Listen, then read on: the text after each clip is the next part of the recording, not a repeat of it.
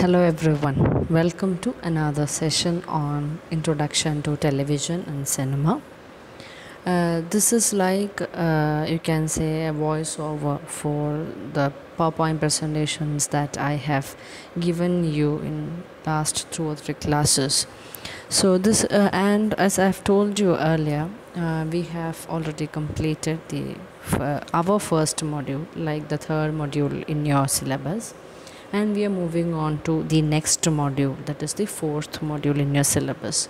And in this uh, module we are going to discuss about cinema in india.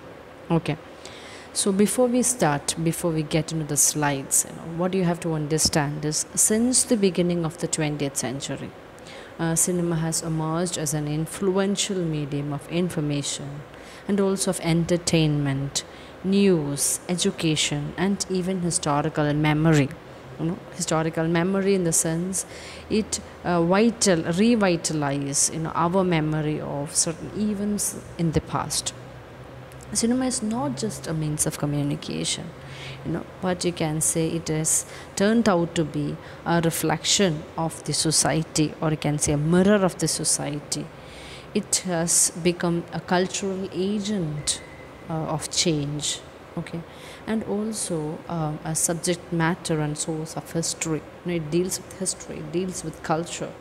It uh, deals with uh, the society the different aspects of the society. So cinema has become a very important cultural uh, medium you can say in the 20th century okay? Though it emerged that is the first thing though it emerged in uh, in usa you can say okay. Uh, the same thing you can you we get in in india. Okay. So lumiere brothers representatives held the first public showing of their films at mumbai's watson's hotel on uh, 7th july 1896 so in that very same you know decade itself uh, india witnessed the first show. Okay then uh, we know that H.S. Bhatavdekar, a still photographer in Mumbai, was the first person to shoot a wrestling match and exhibit the same in a theater in Bombay. So you have to remember Bhatavdekar. Know, and you have also you have to remember that he is a still photographer from Mumbai. And what did he shoot? He he shoot uh, a, a wrestling match. Okay, and he has exhibited that in Mumbai. So all these things you have to remember. Now, uh, the first Indian film released in India is Sri Pundalik. You, know, you have to remember the name of the film. The first film that got released in India Sri Pundalik. That you have to remember. And the major points that you have to remember in this context are Sri Pundalik, it's a silent film. Uh, Sri Pundalik, it's a Marathi film. It is by Dada Sahib Torne and uh, it was in the year 1912. 18th May, you can uh, you, you can wait that, but 1912 you have to remember. And the first show was at Coronation uh, Cinematograph in Mumbai. So all these things you have to remember. Then uh, Sri Pundalik is based on the life of a Maharashtrian saint by the same name, so that also you have to remember. It is basically about the life of a Maharashtrian saint. Then, uh, and it is not the first Indian film because the cameraman was British and the film was processed in London. So, because of these two reasons, you can say Sri Pundalik is not considered as the first Indian film. Then the first full-length motion picture in India was Raja Harishchandra by Dada Sahib Phalke. So very important, Raja Harishchandra. It was by Dada Sahib Phalke, and that is the first full-length motion picture in India. So this is the first thing that you have to remember. Now. Uh, Raja Harishchandra, a few things about Raja Harishchandra. You usually get questions, you know, uh, on Raja Harishchandra. Uh, the movie, it's a silent film again, uh, and it was in the year 1913. Okay, so year is important again. 3rd May 1913 and it was also shown in the same place Coronation Cinematograph in Bombay. Then um, you know another feature about Raja Harishchandra was the female characters were played by male actors. So that's a very important feature you can write when you get a question on Raja Harishchandra. Then it marked the foundation for the Indian film industry. Another point that you can remember in this context it marks the foundation for the Indian film industry. Then many consider him the uh, director of Raja Harishchandra, Dada Sahib Phalke, as the father of Indian film. Many consider him as the father of Indian film. And Government of India has uh, had named the highest film award as Dada Sahib Phalke Award, and it is given to the best film personality. So, which is the highest film award, Dada Sahib Phalke Award, and to whom it is in fact offered by the Government of India, uh, that is given to the best film personality. So, these are the things that you can remember in relation to uh, Raja Harishchandra, the movie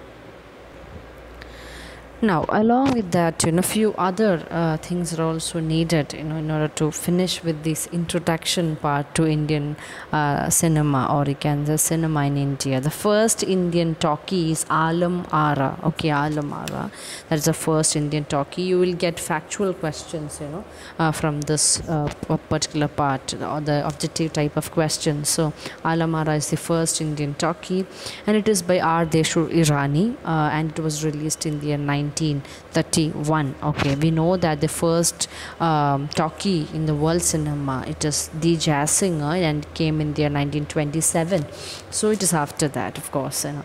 Uh, so 1931 the year is important not the uh, date then uh, when you come to bengali film industry uh, so the word bengali film industry uh, uh you know a word associated or the word uh, there's a word that is coined to represent bengali film industry and that is tollywood okay? So we have two tollywoods now nowadays but you know uh, in 1932 bengali film industry was called the tollywood and it became the center of indian film industry. You know that you know in the pre-independent phase of India. Bengal was the seat of literature, the seat of art, you can say. Okay, all these literary and artistic uh, things, you know, it is in a way related to, in, it was in and around Bengal. So the same thing you can see in the case of film also. So it, it was the center of film in Indian film industry at that particular point, or you can see the initial phase of uh, Indian cinema. Okay, then in Indian cinema, you can see the studios you know they came by uh, 1935 and in the, all the major cities like madras kolkata and bombay we have studios you know the same studio culture. We have uh, you know we have seen that in the context of world cinema. So the same uh, the reflection of that same very same concept you can say in indian cinema also. Uh, filmmaking became an established craft in india by uh, the 1930s then the first color film you again you have to remember from that you know factual as a factual uh, point and you have to remember that is Kisan Kanya and it came in the year 1937 and is uh, directed by Modi B. Gidwani Moti B. Gidwani he directed the movie and it, the name of the movie the first color film in India is Kisan Kanya and the year is also important then Sant Tukaram uh, the first Indian film screened at International Film Festival. Okay, in its 1937 edition of Venice Film Festival. It came in the year 1936, and in the Venice 50, uh, Film Festival of uh, 1937 edition, you can see it was screened Sant Tukaram. So that is also another important point that you have to remember in this context. So this is like the brief, brief introduction to the cinema in India. Okay, uh, you can say that you know during the colonial rule many filmmakers were not able to express explicitly their political concerns and aspirations.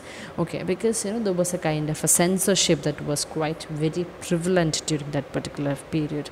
And because of that you know most of the cinemas were more or less like you know imitation of the trend that was there in the world cinema. Okay uh, but uh, uh, you know uh, you can see that through actions through gestures through sentiments through symbolism you know they they try to contribute uh, to their concerns okay in, in one way or the other. And because of that you know uh, the cinema even during this phase as well like very important and it laid the foundation for indian cinema. So with that i conclude the introduction part to indian cinema thank you. Stay tuned and god bless